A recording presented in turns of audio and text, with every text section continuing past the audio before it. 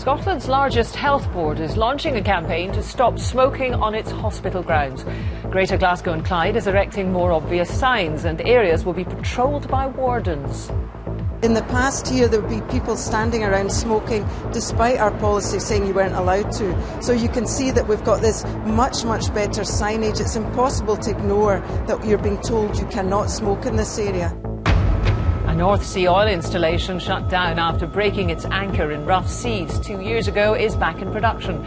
Two people suffered minor injuries in the incident involving the Gryphon Alpha in February 2011. A bill has been introduced to the Scottish Parliament aimed at overturning a ban on overseas loans from the Burrell collection, which was a stipulation of the bequest of the shipping magnate Sir William Burrell.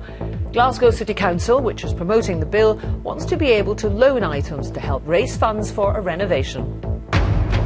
Details of the 67th Edinburgh International Film Festival have been announced. This year's event features almost 150 films from more than 50 countries.